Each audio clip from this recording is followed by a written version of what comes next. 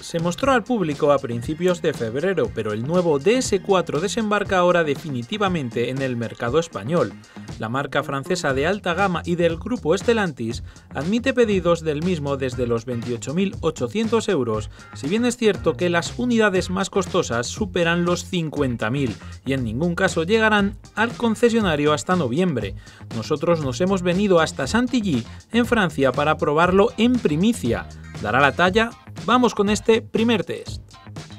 Atrás quedaron los tiempos en los que este modelo era un rara avis de la categoría que mezclaba rasgos propios de un subcoupé y compacto en una singular carrocería que se montaba sobre la base del Citroën C4. Ahora este nuevo DS4 de segunda generación ha estrenado la plataforma llamada EMP2 Evo del grupo Stellantis que también estará presente en los nuevos Peugeot 308 y Opel Astra, pero además presume de una carrocería esbelta con cinco puertas de verdad, con tiradores desplegables incluidos en las mismas y con una altura libre al suelo de 15 milímetros gracias a sus enormes ruedas. La amplia parrilla vertical o los marcados pasos de rueda son elementos de diseño que le otorgan cierta apariencia de crossover y sus dimensiones confirman que puede ser una alternativa válida tanto a los clásicos compactos premium como a algunos B-Sub tales como el Lexus UX, claramente orientado al asfalto. El DS4 mide 4,40 metros de largo, 1,83 de ancho y alcanza una altura considerable de 1,47 metros. Veamos cómo va en carretera.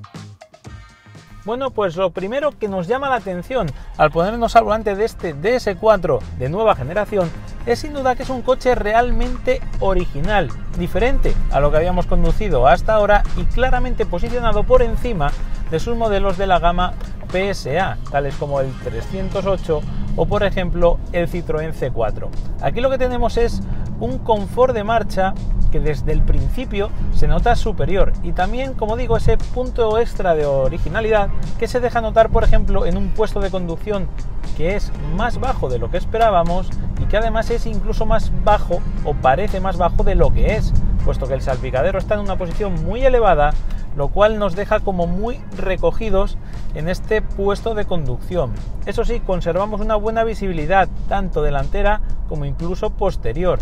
y sobre todo lo que tenemos es una sensación de buen aislamiento, de buena pisada, de, una suspensión que filtra con perfecta rigurosidad cada eh, irregularidad del terreno que nos hacen eh, pensar que estamos ante un coche que frente a sus competidores de este segmento, los BMW Serie 1, los Audi A3 o incluso el Mercedes Clase A, es un coche que puede ser más cómodo de usar tanto para el día a día como por ejemplo para afrontar largos viajes en autopista. En este sentido, frente a todos ellos también hay que decir que no ofrece el mismo tacto de guiado, que no ofrece la misma precisión y mucho menos que tampoco ofrece la misma agilidad de estos modelos. Eso sí, en el plano mecánico tampoco va mal armado. Aceleramos a fondo y la respuesta, como veis, es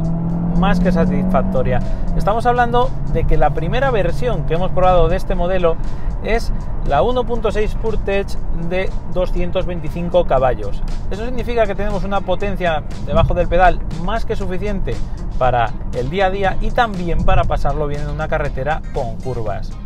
Es verdad que este motor quizá no tenga un tacto tan deportivo como puede dar a entender su potencia, pero sí que es verdad que es un bloque muy enérgico, incluso desde bajo régimen, medio régimen más bien, porque tiene 300 Nm de par máximo disponibles desde las 1900 vueltas. Bien asociado a una caja de cambios como es esta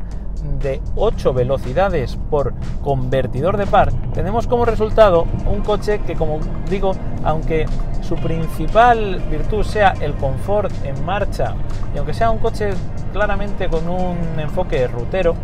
permite pasárnoslo suficientemente bien. Esta potencia, 225 caballos, es también la misma que ofrece la variante, digamos, tope de gama en estos momentos, que es la híbrida enchufable. Bueno, en relación a esta hay que decir que ahorras peso y que, bueno, si no tienes, eh, si no vas a hacer un uso del coche en ciudad, sin duda esta puede resultarte todavía más interesante. Vamos a probar en cualquier caso en esta jornada, en esta primera presentación internacional del coche, ambas y nos reservaremos para más adelante otras igualmente interesantes como pueden ser las opciones de gasolina de potencia inferior con 130 y 180 caballos y también la diésel HDI de 130 que dado lo bueno que resulta este coche para viajes largos, la verdad es que me parece muy interesante que la mantenga. Con la misma potencia máxima, 225 caballos, y también con el mismo cambio, el automático EAT8, el único DS4 híbrido enchufable disponible aporta un grado extra de refinamiento y eficiencia a la conducción respecto al citado PureTech, pero también sorprende por un comportamiento general más refinado.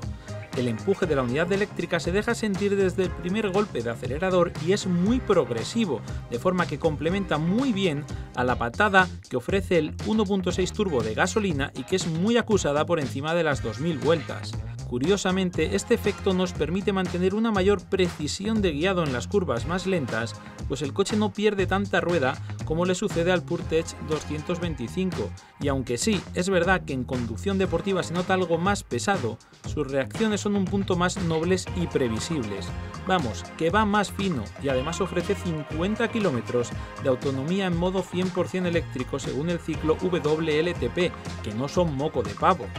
El interior del DS4 destaca sin duda por la calidad general percibida que ofrece. Y es que nada más hay que ponerse al volante de este coche o desde el asiento del pasajero para comprobar que no solo la parte superior del salpicadero como sucede en la mayoría de los coches de su categoría está bien acolchada, también la inferior ofrece perfectos apoyos para las rodillas en viajes largos el volante tiene un tacto en piel muy bueno o en esta versión Rivoli nos encontramos con unos asientos en cuero perforado que son sencillamente una pasada. Si a esto le añadimos una buena presentación a nivel de tecnología, como nos encontramos con esta pantalla central, con un nuevo menú dividido en tres verticales, con además con un manejo bastante rápido y también con un cuadro de mandos digital que aunque es un poco pequeño y en relación a sus competidores se ofrece menos resolución, se complementa muy bien con un head-up display que ya se proyecta directamente sobre el parabrisas y que además es muy completo. Pero lo que más me gusta a mí es, sin duda, esta guantera central que incluye nevera. Así que este agua fresquita va por DS.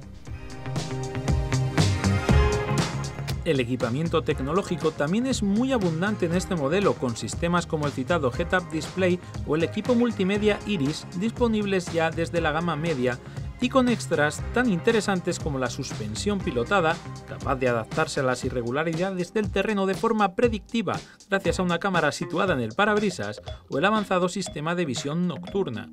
No obstante, lo más significativo es la llegada de la tecnología DS Drive Assist 2.0, que le han otorgado a este modelo el nivel 2 de conducción autónoma. Entre las funcionalidades que incluye destaca un sistema de adelantamiento autónomo, un asistente de velocidad adecuada en curva o un indicador de límites de velocidad anticipado, de forma que el conductor puede realizar un viaje casi sin intervenir más que en el volante, es decir, sin tocar apenas el acelerador o el freno. Una lástima que haya que esperar hasta finales de 2021 para que los primeros DS4 equipados con este sistema lleguen definitivamente al mercado. Será por entonces cuando hagamos una prueba más a fondo de este interesante modelo.